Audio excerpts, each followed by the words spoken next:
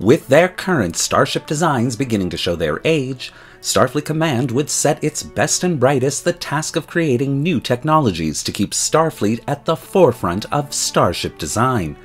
And to test these new technologies, the Tudor class would be born. But what do we know about this experimental Starship class? Well, today we'll find out. Hello and welcome to the premiere episode of this new season of Truth or Myth Beta Canon, a Star Trek web series that dives into the history of any given topic, using beta canon sources and my own imagination to fill in the gaps. In today's episode, we're taking a look at the Tudor class as first seen in the FASA Starship manuals to better understand its place in Star Trek history. I just wanted to take a moment to thank you all for your continued support and love for the channel. I hope you had a wonderful Christmas and a Happy New Year, and wish you all the best for 2024.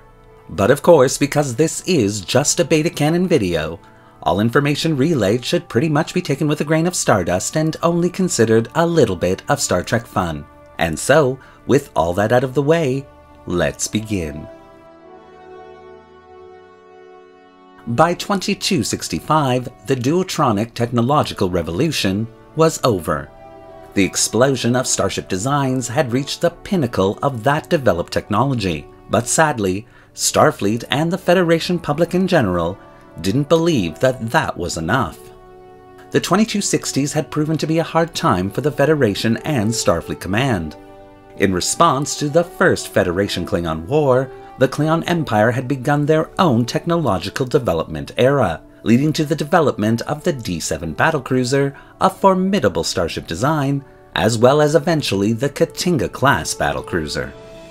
The once jewel in Starfleet's crown, the Constitution class, was steadily losing its luster as the class experienced system failures, extreme damage, and even destruction events. The reemergence of the Romulan Star Empire, with starships that could be rendered invisible not only to the naked eye, but virtually every sensing device that the Federation had was alarming to say the least. Starfleet Command realized its fleet needed new advancements to lead it into the 2270s or risk falling behind its enemies.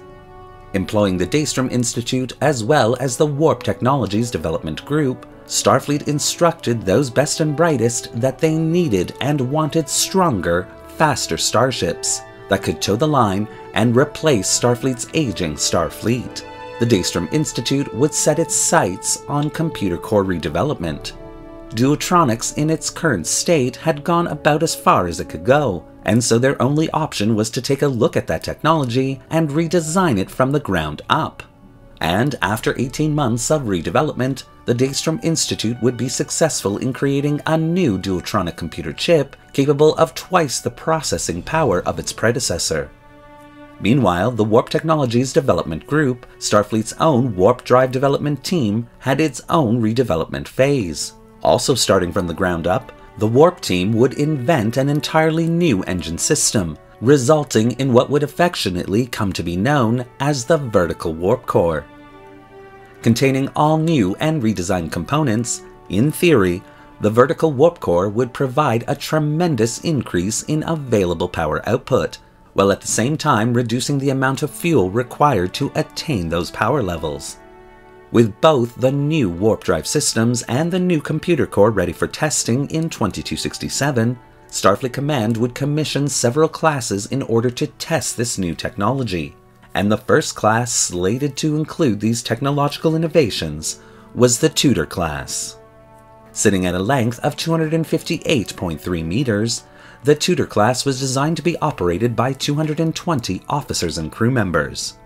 The Tudor class had barely been approved for construction by Starfleet Command when the decision would be made to alter the class to contain the new technologies for testing. Though containing the fairly familiar cylindrical warp nacelle seen throughout the Constitution class design era, the forward section of the nacelle would be modified to test out the newly designed warp coils as well as the Bussard collectors. The prototype vertical warp core, as well as the prototype enhanced duotronic computer core, would also be included within this design. As a result, the Tudor class would have a standard safe cruising speed of warp factor 6.5, with an emergency maximum speed of warp factor 9 for 14 hour increments. A single nacelle design, originally intended to be a patrol vessel class to be deployed along the Romulan neutral zone, the Tudor class was to have at least 30 starships of this design constructed. However, switching its profile over to a rapid testing starship design would mean that only four starships of the class would ever see the light of day. Testing on the Tudor class's new systems would begin in mid 2267 and was wrought with problems from the start. The vertical warp core performed way over its theoretical specs, while the new computer core underperformed due to several faulty processors that had been repurposed from older computer cores. Of course, when testing such new and wildly different technologies, these types of problems are to be expected.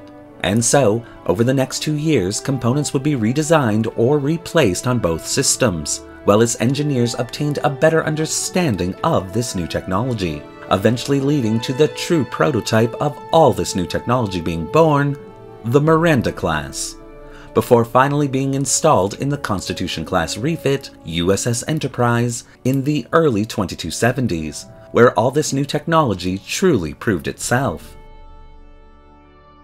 But by the end of 2268, the Tudor class was finishing up its testing profile and Starfleet Command was then left with a problem what to do with the class.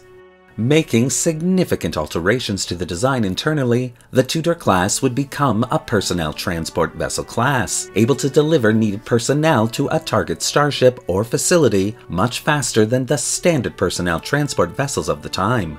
The Tudor class would also be used to transport emergency cargo during events which required the utmost in speed the Tudor class would end up serving a dozen years in the fleet, before the decision would be made to decommission the class in favor of both the Miranda and Oberth class designs, with all four starships of the class stripped of its useful technology and being sent to one of Starfleet's decommissioned shipyards. Created to test several new technologies, the Tudor class would become an important stepping stone to the technological revolution of the 2270s, earning this class its respectable and needed place in Starfleet history. Thank you for watching today's episode of Truth or Myth Beta Canon. What do you think of the Tudor class and the historical narrative that I've created here? Do you want to see more videos like this one? Well, leave your comments in the section below, and don't forget to like the video and subscribe to the channel, hitting that little bell icon so you won't miss a single video we release. Want to help the channel test new technologies to keep it a state-of-the-art YouTube Star Trek source? Then consider becoming a channel patron, a major help that allows this channel to purchase resources and 3D models to keep it going. The link to our Patreon account is in the description below. Thanks again for watching. Live long and prosper.